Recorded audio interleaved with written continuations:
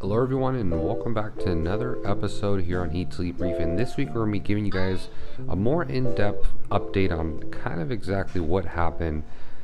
but sadly, the hard week I had last week in losing pretty much all the fish except for one uh, being the firefish. So, just as it probably caught you guys uh, to a surprise, it caught me as well. It literally happened within, I would say, within about two to three days. It started with the Kole tang. Um, I know a lot of people were commenting, "Oh, ick, ick, ick," and believe it or not, it had nothing, or it wasn't ick. The fish might have had ick, but ick isn't what killed it. And again, not being able to know exactly what it was, I've narrowed it down to two things. Um, either being brook or being velvet. I don't think it's velvet, uh, just because it's I mean it's pretty rare uh, to find. It's not saying you won't find it, but it, it's pretty rare. Um, and also, it's interesting that it took such a while uh, for it to come come out. I've had uh, the fishes. I hadn't added any more fish in about a month and a half, uh, so that's pretty interesting to me. Also, if it was velvet, I would assume that it would have killed this guy too. And as you can see, he's beyond healthy. He's eating very well. So that kind of leads me to believe that it probably was Brook. Um, as far as I didn't get any video at all, it happened so quick. I, I, didn't get any video, but as far as the symptoms or what I was visually able to see on the fish, the fish was eating. Yeah, every time I fed it, it was eating very well. All of them were eating very well. And what really stood out to me was it had almost like a mucus, uh, really slimy, uh, stringy texture on the fins. I mean, it was literally the length of those, I would call them stringers, but the length of those things were about like that coming off the fins, uh, the fins and the skin. So, as we know, that's something that's not common at all with ick. Uh, ick, you'll see just tons of spots, looks like they sprinkled them. Uh, this guy did have kind of that sugary uh, texture that looks like sugar was sprinkled on, on them, as you would see in, in Brook um, also with the skin being a little bit mucousy. So that kind of leads me to believe that it was Brook. The fact that it happened so quickly, um, again, kind of reinsures me that it was probably Brook or Velvet. Um, again, I'm leaning more to Brook because it's just Velvet. I've talked to very experienced reefers and, and even stores, and they just say, although Velvet isn't impossible to get, but it's a very uncommon uh, type of parasite in a fish. But again, I'm not trying to rule it out. I'm just saying based off what I saw and based what I've been hearing, I, I believe it was Brook. So yeah, obviously it kind of sucks and actually it really sucked. I really, really loved that Kole. Uh, that Kole tang, I really love those those clownfish. I mean the yellow tang. It, yeah, you know, I I I would be lying if I didn't say I contemplated a little bit what what I was going to do with this tank. But as we all know, there's I don't want to say it's part of the hobby, uh, but it's a very common thing. And that's also, I know a lot of people say, no, if you quarantine, that would have never happened. Well, possibly might have not happened to all the fish, but I know, again, talking to people, only because you quarantine doesn't guarantee that you're not going to lose a fish. And I think anyone that even quarantined can say that that quarantine is not going to guarantee the fish from dying. Now it will obviously guarantee from that disease entering your system and thus wiping out more of your fish. That it absolutely will do. But uh, yeah, you know, quarantine also has its things. You know, assuming a fish does have something, if it's not eating, uh, that's kind of when it really starts going downhill, even in a quarantine system. So, what are my plans? What am I going to do? obviously, as you guys know, I've always been a lot more attracted to the corals than the fish.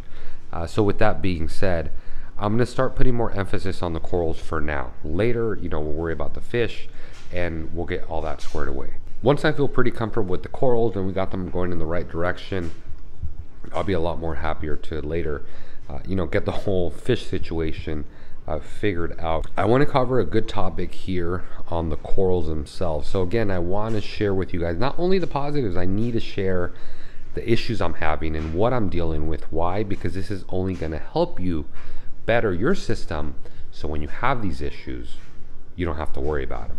Or you could worry about them, but you kind of know that there is a fix. Onto the corals, I've been noticing an issue with SPS. So we have SPS there, SPS there, there, there, there, there. Excuse me, one down there. And what I was noticing with them is I've been noticing less and less polyp extension and more and more uh, browning on the coral. So a lot of the corals have been losing their color. Uh, the SPS, again, we're only talking about the SPS because the rest of them are doing really good. But um, I've been noticing color loss. So when it comes to color loss, there's two uh, things you got to look for. is the coral turning lighter in color, as in bleaching, or is it browning? And those two are going to determine what avenue you're going to take. If for any reason you do see bleaching, bleaching will go south very, very quickly within a few days, sometimes even hours. And that is 100%, not always, but most of the time, strictly related to lighting. It could be temperature as well, but lighting um, in our scenarios, assuming you got a, a good heater, is going to be your issue. So if you do see that, immediately uh, lower your lighting intensity or place your coral lower to the bottom or in a lower part of your scape. In my scenario, I narrowed it down to it being browning. So with browning, it's kind of a different avenue. With browning, it could be flow. It could also be placement. It could be getting too little light. Uh, so in other words, increase intensity on the lights.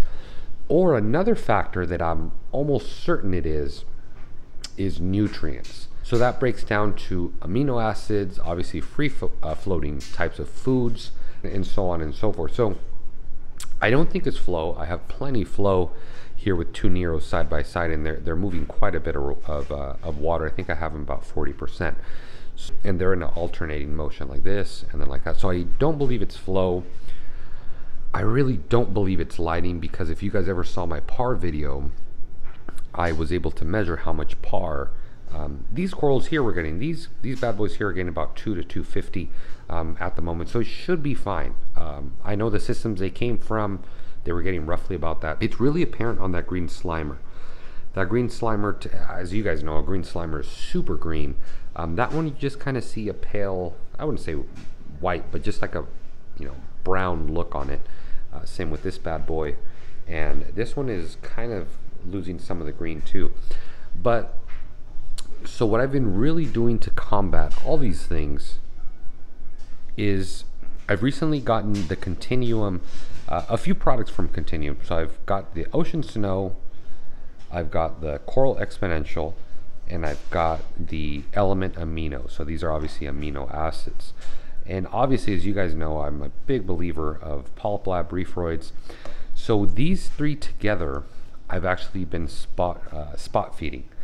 So as you guys know, spot feeding is kind of one of the best ways to help your corals recover from stress. Also, I've read great reviews of this amino acid to very quickly bring stress corals, either from browning or any other type of stress, uh, back to normal health. I've actually been dosing this one, uh, the recommended dosage, every day, and then all three of these get spot fed every other to third day to help it. So again, that's kind of what I'm doing because I believe it's a nutrient issue. I don't think it's a lighting issue. I don't think it's a flow issue.